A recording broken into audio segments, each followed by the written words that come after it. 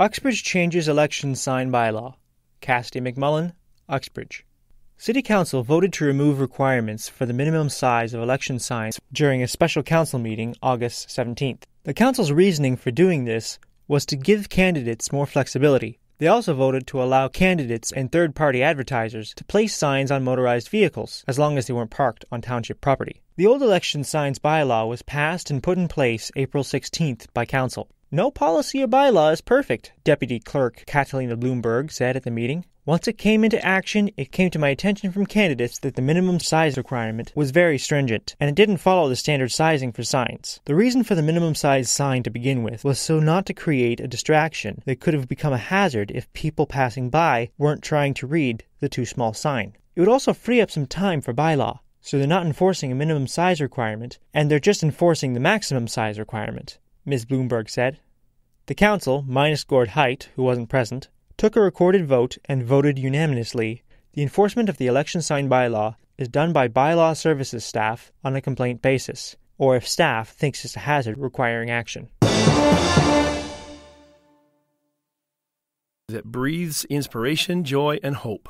Claudia Sitzma, The Standard, Durham.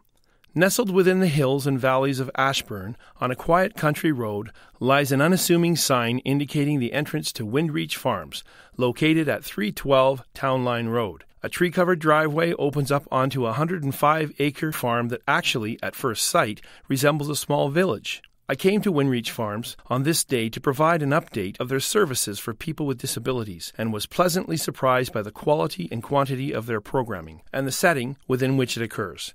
To begin my tour, I followed a winding pathway dotted with several medium sized charming houses that host various educational services and sites for corporate gatherings. Then I passed by a full sized playground, a restored and immaculate barn, an impressive full sized equestrian center, and many pristine outdoor stalls filled with friendly, highly socialized goats, bunnies, and pigs. The pathway then continued to a horticultural center and an area for all to get aboard a wagon ride, extending off to further fields and pastures, where participants are encouraged to hand feed cows approaching the wagon looking for treats. Further on, we crossed over a wooden bridge, decorated with engraved horseshoes, thanking the many donors to the farm. And then we walked past rows of apple trees, leading us to a hands on sensory trail with activities to engage all of the five senses. Lastly, we ended our walk at a pond with a floating dock. Free range roosters and hens calmly strolled throughout the grounds, and horses can be seen in the background making their daily rounds with happy riders atop, assisted by volunteers walking alongside. Surprisingly, with all the animals on site, about a 170 of them, the air was still sweet with the smell of blossoms and freshly cut grass. There is a beauty and functionality here that can only be understood by viewing the facility in person. Windreach Farms was founded in 1989 by Alexander Sandy J. Mitchell, who envisioned creating a place where people with all levels of abilities could come to enjoy the therapeutic healing power of connecting to nature and through positive interaction with a range of farm animals who welcome their attention and care. My tour guide, Carol Dalquist, executive director of the Windreach Farm Foundation, explained The Windreach Farm programs were created to inspire, empower, and change lives. I've seen so many of our participants come here with trepidation, but the power of the bond created with animals opens up so many opportunities for a rejuvenation of mind and body. And after enjoying some of the sensory and interactive experiences that we offer, their initial fear turns to utter joy. They are able to reach beyond their boundaries, sometimes within the span of a few moments. It is so fulfilling to be a part of this organization, and every day that I come to work here, I feel inspired and fulfilled to witness the true magic that is happening. Windreach Farms has developed over the years into a multi service facility, providing several programs within each category of adult day programming, education and recreation, equine services, summer camps for youth, and an outreach mobile service which brings some of the smaller animals to the facilities in the community schools, hospitals, senior centers, shelters, and clubs, whose members can benefit from the education and therapeutic aspects of the Windreach Farm programming. The key to the success of the Windreach Farm is the commitment of over 350 volunteers, contributing approximately 19,000 hours of service yearly, 12 full time staff, and the dedication of two executive boards that respectively oversee operations and fundraising. Carol Dalquist continued We are a facility that is now inclusive and open to people with all levels of abilities. We have also found, in particular, our equine program, horseback riding, is also most helpful for people suffering from PTSD, anxiety, or depression. As part of our fundraising initiatives, we also host larger gala type events. In June, we were fortunate enough to have the RCMP musical ride, and on September 15th, we will be hosting a show featuring the Grammy nominated and Juno award winning band, The Wilkinsons. Next year, we will be hosting a Superdogs show. For more information or to volunteer, please contact Windreach Farms at 905 655 5827 or visit their website at windreachfarm.org. Tech, tech, technical foul. North Durham Sports. Port Perry athletes bring medals home from Ontario Summer Games. Cassidy McMullen, Scugog. Five out of eight athletes that traveled to this year's Ontario Summer Games won medals in hockey, rugby, and lacrosse.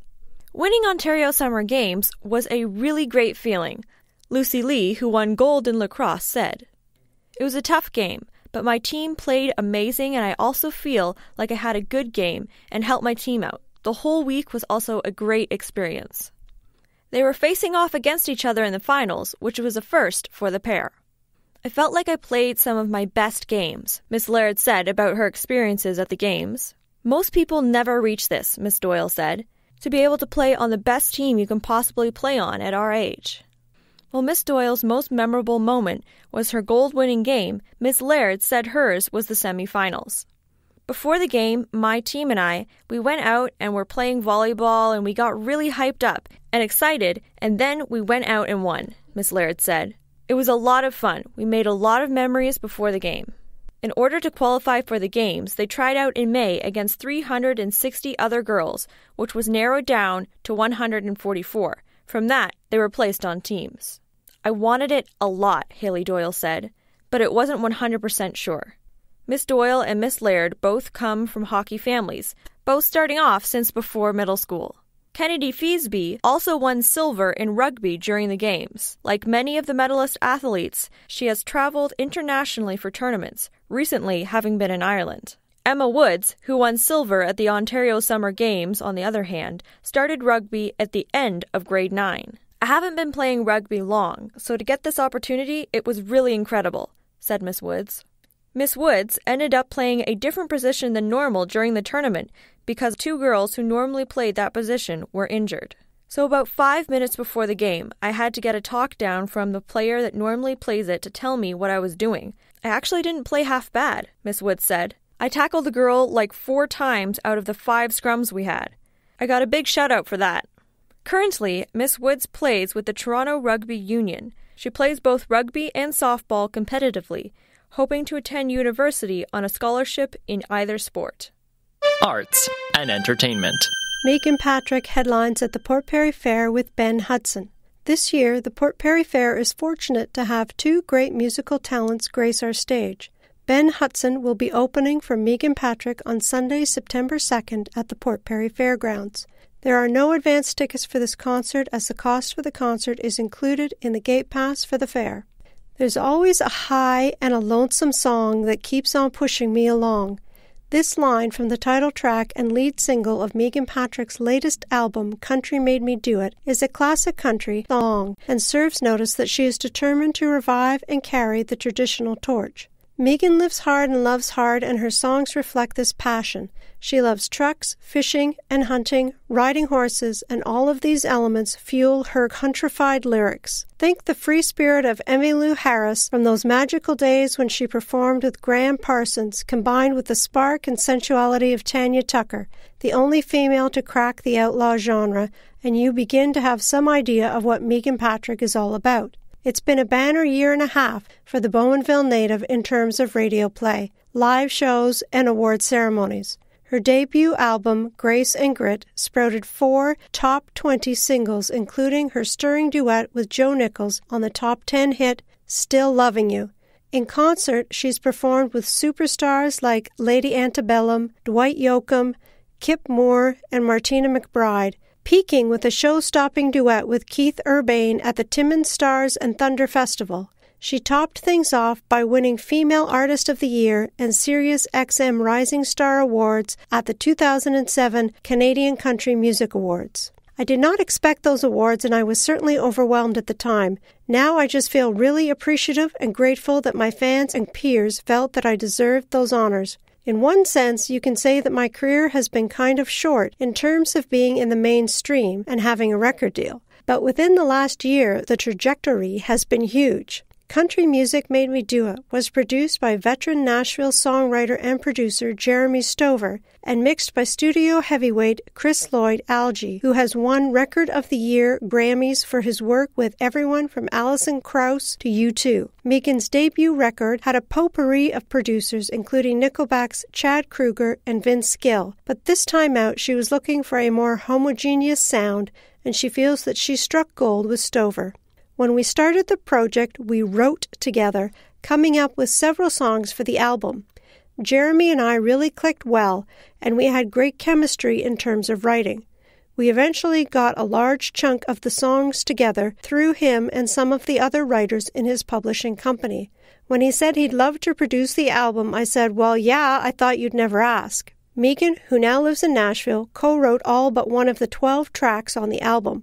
Some of her other co writers include Kelly Archer, Brett Young, Dustin Moore, Justin Weaver, Kip Moore, Jason Aldean, who helped pen Walls Come Down, an ominous number about family strife. Case of Beer and a Bed, written with Derek Rutten and J.T. Harding. Meghan co wrote the title track with Stover and Roots singer songwriter Dan Isbell. The singer has recently experienced a lot of highs with the CCMA awards and chart successes that she has earned, but there have also been a few lows, such as the end of a long term relationship. Country Music Made Me Do It captures some of the peaks and valleys with heartfelt emotion in a traditional country setting.